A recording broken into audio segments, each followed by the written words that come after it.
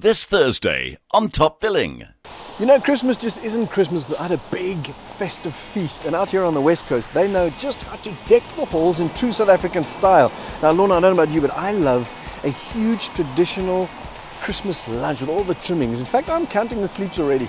I'm sure you are, Nico. You know, I love a good party, so any excuse to celebrate, and I'm there. Bubbly, easy canapes, and a classic Christmas spread with friends is my kind of thing. It's time to prep for your Christmas feast. So Nico and Lorna headed to Paternoster with Woolworths for the best of festive food tips. That's Top Billing this Thursday night, 7.30. Repeat Sunday at 12.30. Find it on 3.